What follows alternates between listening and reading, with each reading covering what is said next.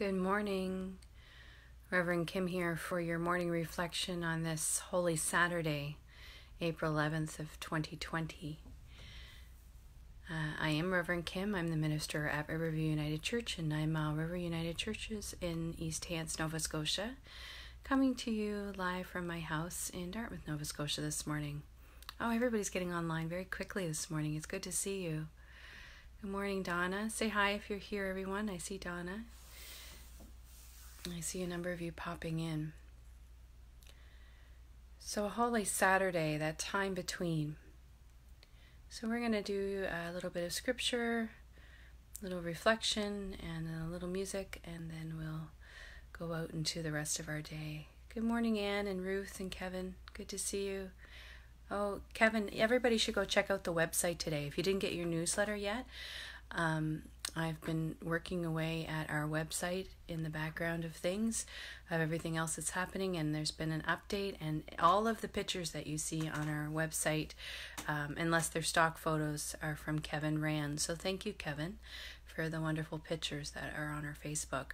So yeah, if you want to go check out our our Facebook, it's um, it's being built uh, by me uh, as we speak. Uh, well, not as we speak right now, but uh, as as we go through our time. And so, ElmsdaleCooperativeMinistry.com is our space for our new website. Please go check it out. That's also where you can find under online worship. You can find the order of service for tomorrow morning um, at ten o'clock is our Easter service together. And so I'll encourage you to download our order of service if you haven't. Um, and if you work on a computer, you can always have it two screens up. You can have the service up on one screen and the um, order of service up on the other. Good morning, Kay and Fern and Susan. It's good to see you all this morning. I will also tell you at 6:30 a.m. tomorrow morning. Yes, 6:30 a.m we will be um, meeting live for a sunrise service for those of you that are early risers. Please feel free to um, get up and find me on facebook. I'll be here. I'll be here at 6.30 a.m for something very similar to what we've been doing at 10 with a couple of more uh, a couple more tunes i think. And hopefully i'll be outside. I haven't tested that yet so i'll get a chance to test that and see if i can get a live feed going from outside. So that should be exciting. And um, let's get started for today, shall we? I'm going to read two readings for you this morning. The first one is from Matthew. It's from Matthew 27, and it's the final verses of that chapter. We've been reading from the message version of the Bible. I'm going to read from that version for this in Matthew. It says, After sundown, the high priests and Pharisees arranged a meeting with Pilate. They said, Sir, we just remember that that liar announced while he was still alive, After three days I will be raised. We've got to get to that tomb and seal it until the third day. There's a good chance his disciples will come and steal the corpse and then go around saying he has risen from the dead. Then we'll be worse off than before. The deceit surpasses surpassing the first. The final deceit surpassing the first. So Pilate told them, You will have a guard. Go ahead and secure it the best you can. So they went out and secured the tomb, sealing the stone and posting guards. So it's important to hear the beginning of that um, verse after sundown. This was Friday. This was Friday in the week. And Friday, um, just a couple of minutes after sundown until Saturday evening, when the first three stars appear in the sky, is the Jewish time of Shabbat, or what we might think of as Sabbath.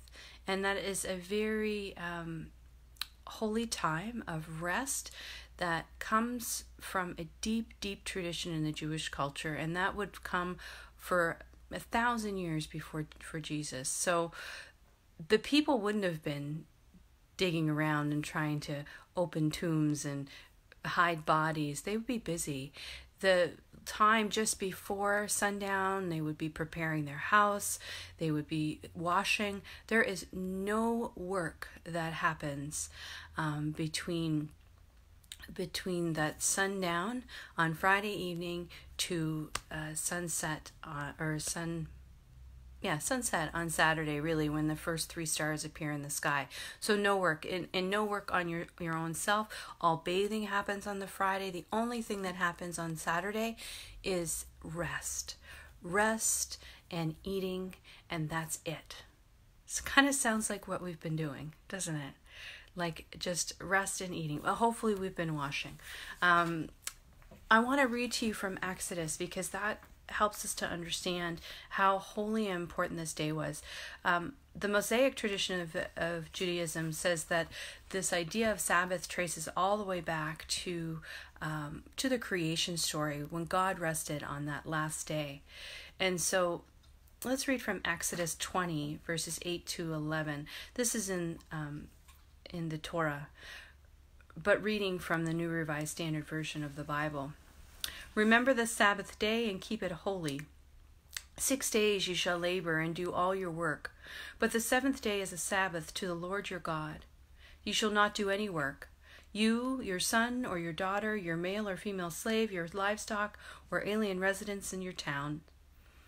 For in six days the Lord made heaven and earth, the sea and all that is in them, but rested the seventh day. Therefore the Lord blessed them with Sabbath day and consecrated it so this is a holy time. This was a holy time of resting and waiting. And that is where we are. That's where we find ourselves on this holy Saturday, and that's where um, Jesus' disciples and followers would have would have found themselves too. Their Lord had died, their Master had died, and they they couldn't do anything. So we heard yesterday that Joseph of Arimathea prepared the body, placed him in his own tomb.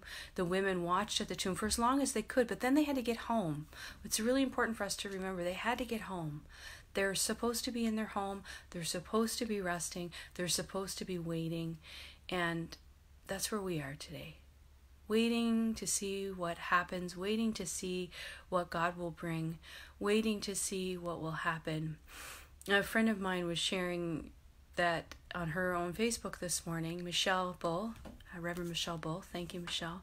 Um, that that's where we find ourselves too in this moment of waiting, unsure what's happening, unsure where we are in the world, and not just because we're waiting Good Friday into to Easter, but that we're waiting in this. We're literally stuck in our homes, many of us, and we're waiting to see what happens with the world.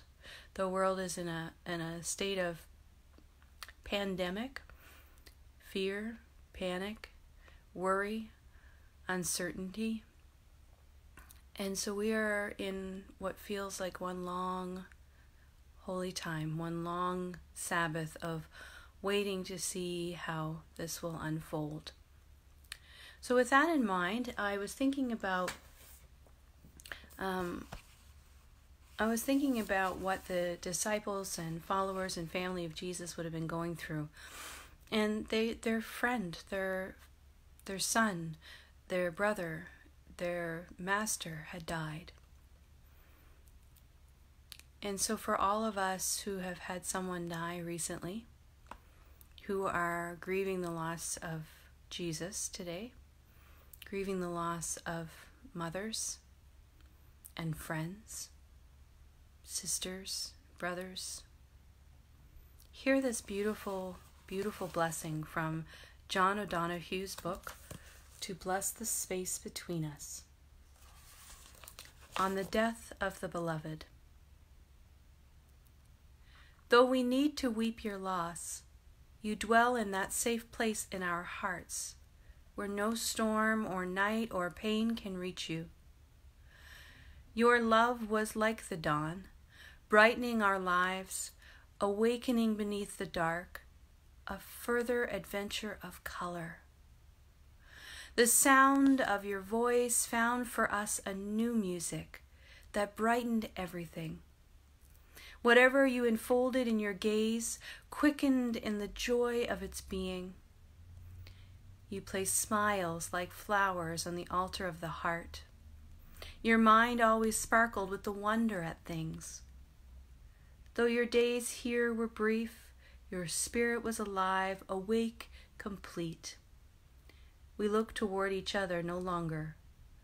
From the old distance of our names, now you dwell inside the rhythm of breath, as close to us as we are to ourselves. Though we cannot see you without out with our outward eyes, we know our soul's gaze is upon your face, smiling back at us from within everything, to which we bring our best refinement. Let us not look for you only in memory, where we would grow lonely without you. You want you would want to find you you would want us to find you in presence, beside us when beauty brightens, when kindness glows, and music echoes eternal tones. When orchids brighten the earth, darkest winter has turned to spring. May this dark grief flower with hope in every heart that loves you. May you continue to inspire us to enter each day with a generous heart, to serve the call of courage and love until we see your beautiful face again in that land where there is no more separation, where all tears will be wiped from our minds, and where we will never lose you again. Beautiful words from John O'Donohue as we remember the death of the beloved. I'm going to leave you in just a moment with "Wait for the Lord," and we'll um, we'll go out to me singing that song. I might keep singing it after I hit finish for a little while. Um, I'll remind you 6:30 a.m. I'll see you 6:30 a.m. for you early risers for a sunrise service, and 10 a.m. for the uh, for others who prefer a um, or want to also come to our Easter Sunday service. There is no meditation tonight at 7:30. Um, there are a lot saved. Please feel free to listen to one of those again. Um, I am also taking Sabbath uh, today, with the exception of, of fine tuning my sermon and a few things for tomorrow, which I enjoy and give me great, great joy to do. So that's what I'll be doing today. Um, I look forward to seeing you tomorrow. And um, until then. Wait for the Lord, God's day is near. Wait for the Lord, be strong, take heart.